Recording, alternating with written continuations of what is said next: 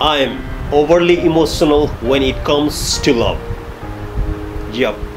I go for love first and think later.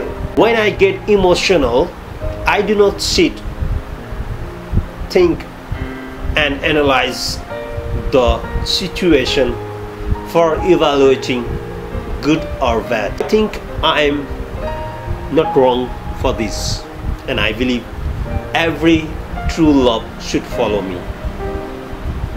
Namaste, I'm Nabin Gurung from Nepal, and this is my personal belief. Thank you for watching.